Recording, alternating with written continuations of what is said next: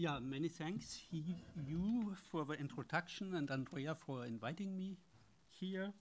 Um, I will not talk directly about Andrea's works, but I will try to give a kind of general framework uh, from which um, we might consider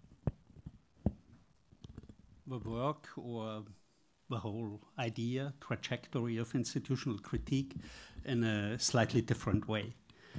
Uh, and that has uh, to do simply with the fact that my own recent work is mainly focused on a sort of conceptual history, uh, a reconstruction of theoretical and political models of thought and pos positioning, which um, I think, and I'm convinced they still, you know, are valued, and it's worth to reconsider them uh, because they inspire, seem to inspire contemporary artistic practices. Um, I hope, however, that already by the second half of the talk, the relation to Andrea's work will become clear, and we can talk about it more specifically in the discussion. So, the title of my talk is Showing Nothing The Ethics of Institutional Critique. I will show, however, something, namely a painting by Henri Rousseau, which you see uh, on the screen.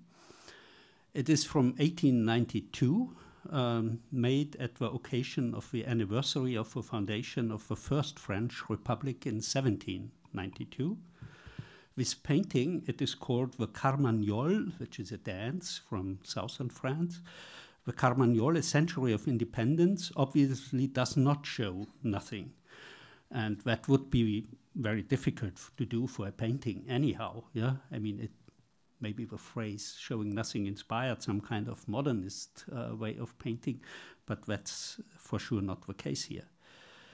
But what it shows um, is precisely showing nothing. Yeah, um, uh, obviously shows something, and what it shows is showing nothing. And I will try to explain what I mean with that uh, slightly paradoxical phrase. So, on the level of its manifest content, the painting shows a revolutionary feast. Young men and women wearing Phrygian caps, yeah, red caps, red revolutionary caps, and dancing in front of a tree, while the elder ones are standing on the sides watching them. The two women in the center next to the tree represent the First and the Second Republic. Yeah, the Second Republic went from 1848. Henri Rousseau might have seen this scene or a similar scene as a sort of historical reenactment and thus tried to prove his Republican commitment and to give it a vivid, colorful expression, yeah, with all the flags and this kind of naive yeah, uh, way of painting. The scene itself, however, is not just an ephemeral or accidental event from late 19th century everyday life within the Third Republic, yeah, Henri Rousseau's own context. Rather, it contains the crucial therapeutical fantasy of what institutional critique is about. As such, yeah, and that is the crucial point for me, that it uh, contains the crucial therapeutical fantasy of what institutional critique is about.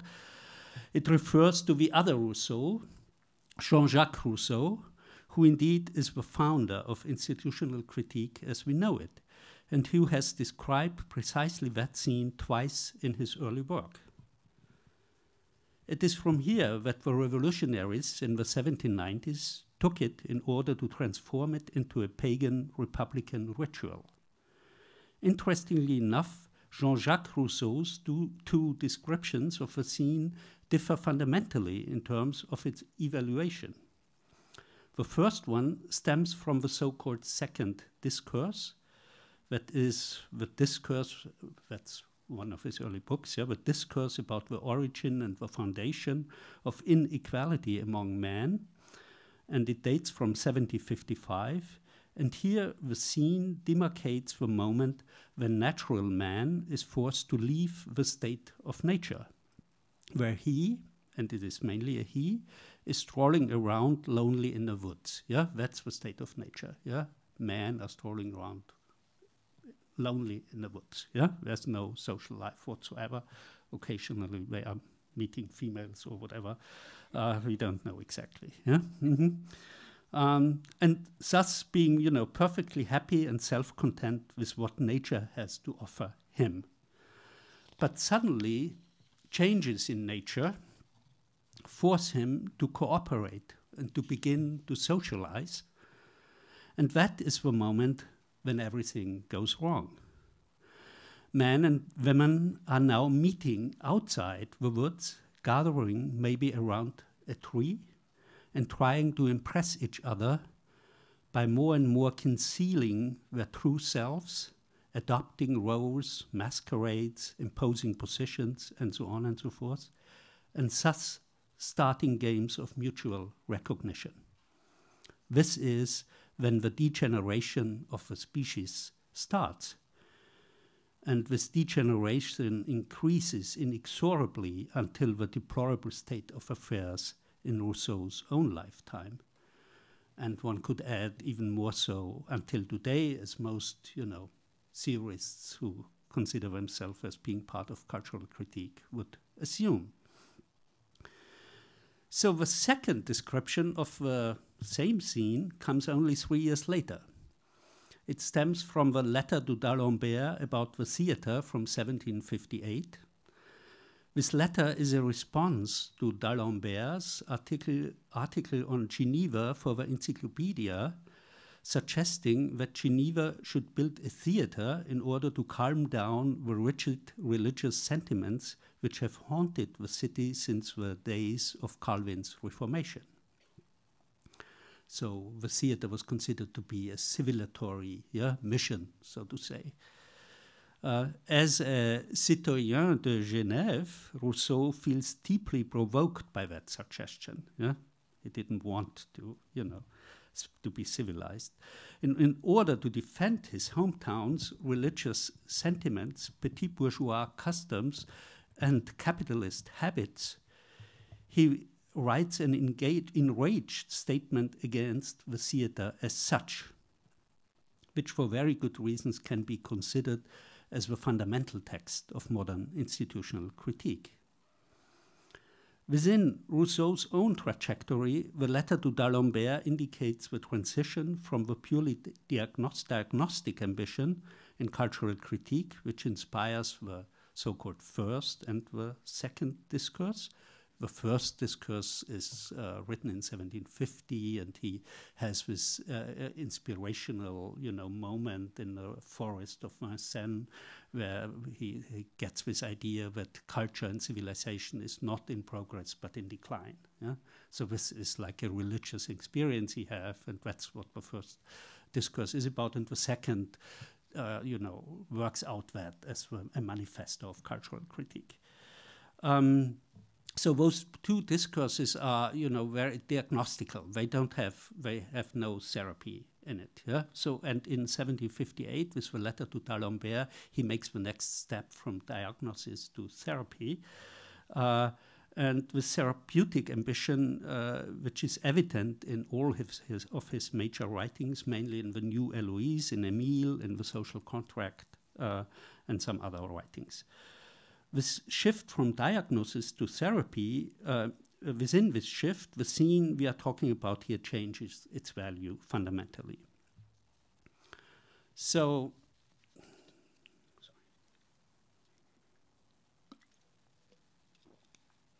Rousseau's critique of the theater is essentially a critique of a double representation. The political representation of the few speaking for all, that's one side, yeah, the political kind of yeah, representation, and the spectacular representation through images. Hmm? And he says, why should some of us meet in a dark space, each of them separated from one another, in order to watch terrible images of cruelty and oppression? Yeah?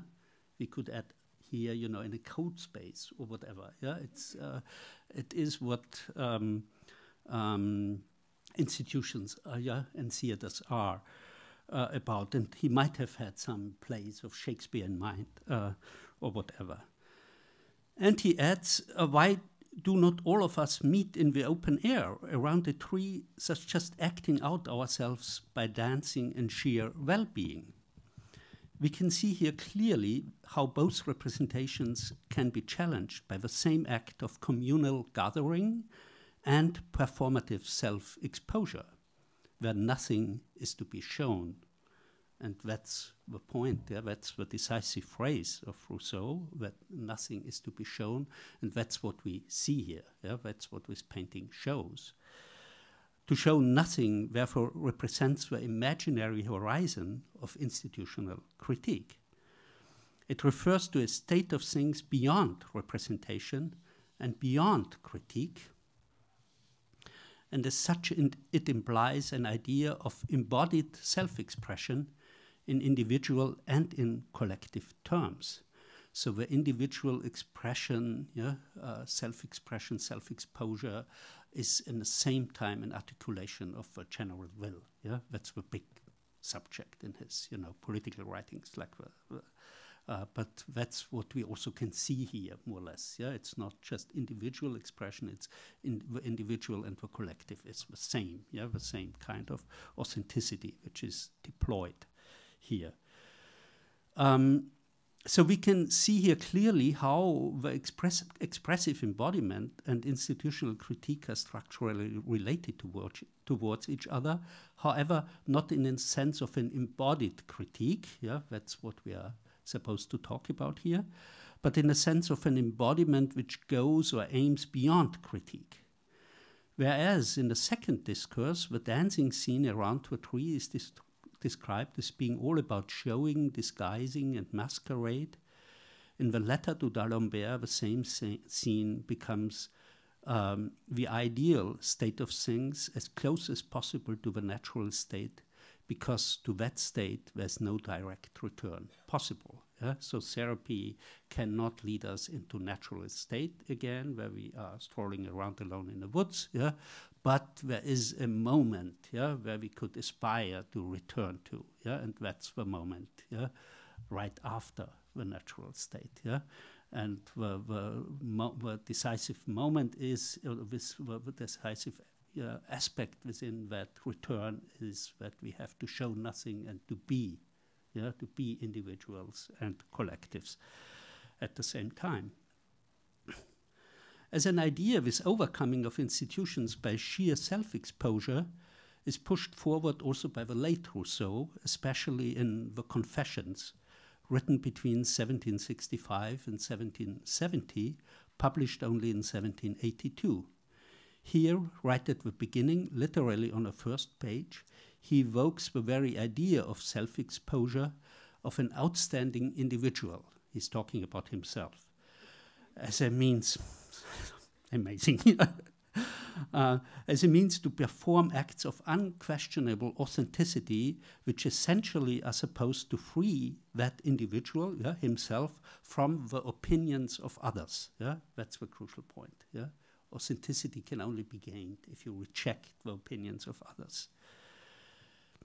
At the day of judgment, he says, he will present himself before the sovereign judge, yeah, God, with this book in his hands, and it will contain the whole truth of his life. There's nothing to be negotiated here. It is what it is.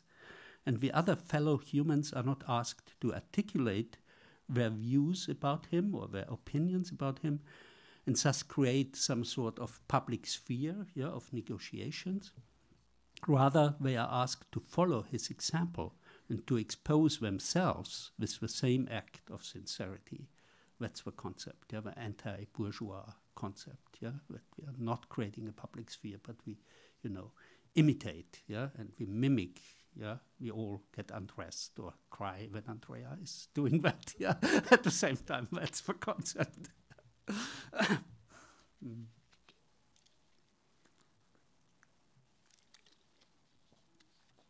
So the day of judgment has not come yet, and the revolution also did not succeed in terms of creating living conditions as close as possible to the natural state of things, for good or for bad.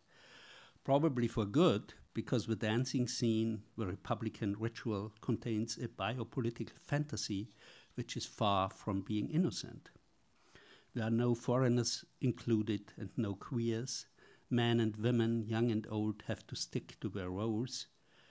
During the revolution, women were even killed just not for not sticking to their presumed natural roles. And obviously, there is, a, there is the crucial problem that the pure perf performative act of self exposure would be completely meaningless if nobody would notice and appreciate it.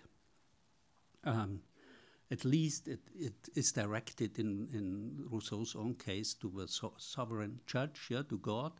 Uh, so there is an implicit eye, yeah, watching that or proving that kind of authenticity.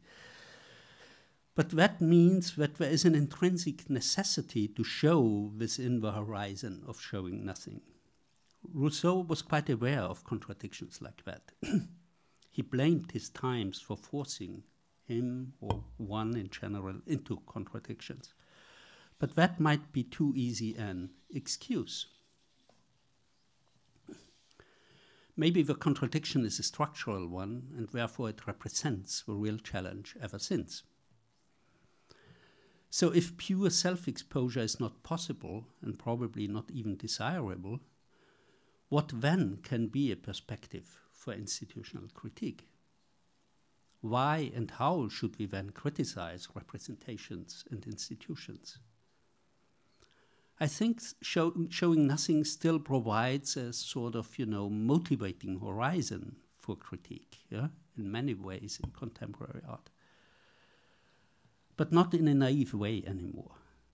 Self exposure has become a widely shared cultural practice it is not restricted to outstanding individual, individuals like Rousseau in his times or like several artists today.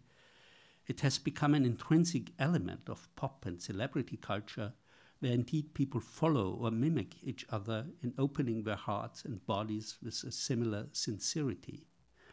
Gestures, however, whose symbolic meaning is not understood anymore. I think in my memory, you know, the, the, the, early rave scenes in the 1980s, early 90s, they still were aware, yeah, that there is a symbolic dimension in self-exposure, yeah, in individual and collective self-exposure. But precisely in mimicking that, you know, it just became, a, you know, whatever it became, yeah, where this, this horizon of, yeah, of a certain political meaning has been lost. Um, and that is why the pure gesture of self exposure um, might not be enough. The real problem of the expressivist or expressionist tradition is precisely that it is, has not been aware of its own conventionality. This expressivist, I'm taking up a term by the Canadian philosopher Charles Taylor. He's uh, uh, using this term in order to describe the mainly German reception of Rousseau in early Romanticism, yeah, from Herder, Jacobi, Schlegel, those guys. Um, uh, and through that reception, this idea of that something has to be expressed, yeah, uh, uh, is stemming from and uh, made its career into what we then knew as historical expressionism. Yeah? So I would differentiate that. But again, it makes clear that this idea of expressionism, yeah, is related. It's not pure antagonism to, to institutional critique. There is a there is a hidden connection. Yeah, that expressionism has a root. Yeah, it, within this expressivist tradition, which is you know the, the horizon. It's a, the answer to a critique of institutions. Um, but obviously, this is lost because uh, an expressionist painting is not aware yeah, of its own yeah, um, conventionality. Yeah? That it's using the medium of painting in a direct and way and claiming authenticity instead of uh, um, uh, referring to the highly conventional act uh, which uh, self exposure has become since a long time. Um, so um, only if there is a reflexive element, yeah, uh, a way when the way of showing within the showing expressive showing nothing is addressed, yeah, when the exhibitionary qualities are addressed, uh, uh, the contradiction between showing and showing nothing, between representations and the performative assertion and critique can be grasped. These exhibitionary elements also imply a certain return of the social. And um, the exhibitionary spaces are essentially social spaces. And it also makes clear how antisocial um, uh, Rousseau's argument was. Yeah, I mean, he's really is the social is the you know where everything evil in the world starts from, um, and uh, and that means that institutional critique is in need of some kind. Uh, no, sorry. And again, institutions. Yeah, if we are talking about social spaces here, uh, institutions are nothing else than social spaces. Yeah? I think this is this is very, very important. It's not the house. Yeah, it's the, the, the social space in general. Yeah, in what Andrea will refer to in, in Bourdieuian theory. Um, so that means that institutional critique is in need of some kind of institu institutionality in itself, towards which it can only be critical in a very limited way. Its own institutionality works as a precondition of its criticality. Only if we presume a certain social space, we can refer to it in a, to, uh, we can refer to in a somehow uncritical way, critique will become possible. If there's no transcendental horizon for critique whatsoever, um, in the sense of an uncontested area of authenticity or autonomy, the social spaces will become more and more important. And that means that every act of critique is in itself contestable. It can and might be criticized. Only within the realm of negotiations, however rudimentary public sphere, the institution of critique, and I'm taking up Andrea's phrase here again, can unfold, thus implying neither unquestionable morale nor canonical art, but ethics and aesthetics as specific forms of practice. This is a little bit dense, but I hope I can make this clearer now by the end of the talk. So self-exposure is, for example, very manifest in Andrea's work, but it is a kind of self-exposure which is related to the exhibitionary, the institutional, the showing, and the opinions of others. So there's no pure transgression taking place now outside of social and um, institutional space is envisioned. Quite on the contrary, it is precisely in terms of social difference psychological entanglements, and cultural specificity that self exposure becomes a medium, using different roles, positions, and masquerades as their material. Even nakedness here becomes a masquerade. Yeah, I'm referring here obviously to official welcome or to untitled. And it's all about coding and not about self evidence. And that directs the ways through which embodiment can become critique. However, the question remains how ethics and aesthetics are related towards each other within this kind of idea of embodied critique. It is the term practice or praxis itself which comes into play here. If we talk of artistic practices, yeah, what do we mean actually by that? Yeah, in is differentiated from simply art practices or yeah, uh, art aesthetic practices, ethic practices. What does the you know term practice actually mean here? And like the Rousseauian acts of pure self-exposure, the Marxist understanding of praxis, and that's the, the dominant uh, tradition uh, using the term practice, indicates already a solution for contradictions by pure action or execution. Yeah? That's in the famous uh, 11 theses on Feuerbach, where Marx says, you know, the world has been interpreted enough, so we have to do something. Yeah, we have to uh, act practically, and it's in praxis itself we will change the world. Um, taking this certainties, yeah, that practice itself, yeah, or self-exposure, yeah, will change the world. Um, not for granted, but more as a medium for reflexive articulation, precisely the term practice could become interesting as a starting point for addressing one's own desires, uh, I can pronounce that, fallibilities, yeah, or vulnerabilities, as well as one's own conditionality through privilege, interests, or capital of different sorts. So I think this is the crucial point in, instead of a self-exposure, yeah, of authenticity, whereas here a possibility which uh, can, you know, were address on the one hand were you know one's weaknesses so to say vulnerabilities but also one privileges yeah and i think both is necessary yeah. And that's precisely the you know the layer where the social and the psychological spheres uh, interfere um,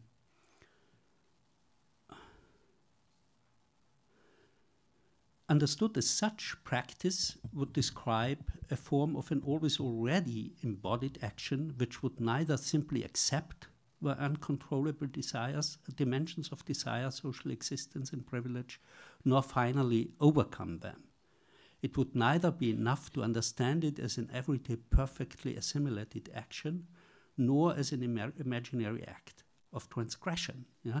I think it's all about, you know, with neither nors, uh, they constitute the margin. Yeah. So it's practice is not, you know, assimilation, not what's going on anyway. Yeah. But it's also not transgression. Yeah. Of completely acting out in, you know, in a in, in a totally different way. Embodiment. Um, um, yeah, and, and, precisely at such in, within this margin, yeah, for example, between assimilation and transgression, practice can articulate itself as embodiment as well as as critique. Yeah, I think that's that's important. Yeah, to refer to the possibilities under which you know embodiment even can be considered. Yeah, critique. Embodiment remains anchored uh, within the social, psychological, and uh, cultural spheres and its differences. And critique um, might be considered the dimension which shows the materiality of the body precisely not as a self evident yeah, materialist uh, quality, but as a symbolically coded, always already transformed and continuously transforming uh, category through further practice. It is the thin red line between everyday embodiment and artistic or political embodiment which opens up the potential for practice. And this again raises the question of its ethical and aesthetic dimensions. So to come to a conclusion, I will try to uh, to uh, talk about this relationship of you know ethical and aesthetic uh, elements of practice uh, very briefly, yeah, more on a general level again. But I think it's uh, also very crucial to understand the works like Andrea's. So, an ethical practice in this understanding can neither be a, a morale, yeah, a moral rooted in law, norm, or tradition because any moral act um, in this understanding would always, you know, if I claim, you know, I'm in a moral position and you are not, it's only possible to act morally uh, in an sort of unethical way. Yeah, it always contains this you know element of uh, rejection, demarcation towards others. Yeah, so to be to act purely in a moral way according to laws, norms, tradition is you know is not ethical. Yeah, uh, it's more a problem than a solution. Yeah, um, so an ethical practice in that sense is not immoral. Yeah it's aware of that yeah, problem and uh, you know acting morally. But it is also not only a simply a reflexive category for morale or ethics in general. That's what usually the distinction is if you go to Wikipedia. Yeah, morale is morale, and ethics is a you know a philosophical discipline of reflection about morals. But I think this is not not enough. Yeah. Um, I would say an ethical practice is another form of ethics, yeah? A specific ethical form which precisely includes elements of reflexivity, yeah? which is not just according to certain standards of the law and or tradition, but you know it it contains certain aspects of, of reflexivity about its own procedures. And not only that, in order to be able to, to even recognize itself as ethical, it has to negotiate different options and experiences. In the long run, that means uh, ethical practice has to act unethical in order to become ethical. And there's no final decision, yeah, if it's only ethical, yeah, or if it's maybe too much, yeah, it drifted too much into unethical. There's no final decision in sight. Ethical practice in this sense can only be relativist and ambivalent in order to maintain the ethical ambition. Of course, it also needs an eth direct ethical uh, element, but that is not enough. Yeah. Um, so that implies that you have to expose yourself to unethical or to even act unethically in order to become ethical. Not violence is here the problem because violence is a problem of, of morale. Yeah, um, if you if something is not you know following the rules of a law of tradition and so you have to implement uh, violence. Yeah. Um, so violence is not the problem of of, of uh, ethical practice, uh, uh, but the unethical. The unethical is the condition of possibility for the ethical in Derridian terms, but in which form? Again, it is not the grand amoralism of the avant-garde, which try to trans transcend any form of ethics. It is way more specific. The form of the unethical could be the aesthetic, one of the forms, at least. So, comparable to the distinction between ethics and morale, we could also differentiate in between art and aesthetics, in the sense that the difference does not lie in the opposition of praxis, practice versus reflexivity, uh, so that art is practice and aesthetics is the philosoph philosophical discipline of reflecting art or uh, aesthetic criteria. Um, but that we have here as well two different forms of practice.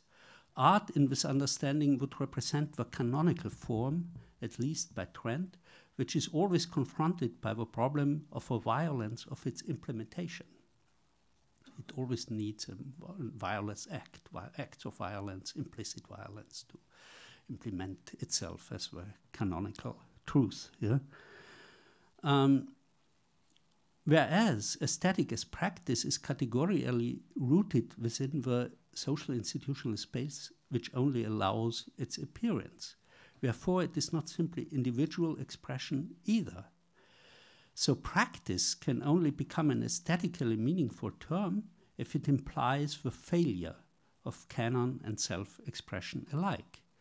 It's again that to talk about aesthetic practice means neither to talk about a canon nor to talk about simple self expression, yeah? so that everyone has to self express him or herself. Like ethical practice, aesthetic practice cannot succeed. But there might be some success precisely in failure, especially if ethics and aesthetics are related to each other in terms of practice in order not to become simply morale or art, in order neither to end up in pure subjectivism nor in a new form of normativity, an additional indeterminate moment is needed, a moment of the unethical within the ethical, a moment of the unesthetic within the aesthetic.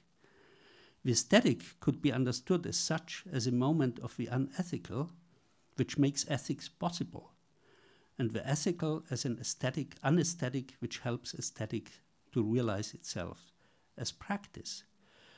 Within such a mutual conjuncture, the symbolic space of politics might open. So, the ethics of institutional uh, critique necessarily refers to aesthetics, yeah, to the performative, conceptual, situational aesthetics yeah, of institutional critique. Uh, ethics and aesthetics mutually function as limits to one another. Um, in finally preventing institutional critique from becoming neither moral nor art. Yeah? And I think that's what we maybe could discuss in terms of Andrea's work. Yeah. Okay, that's it. Many thanks. Mm -hmm.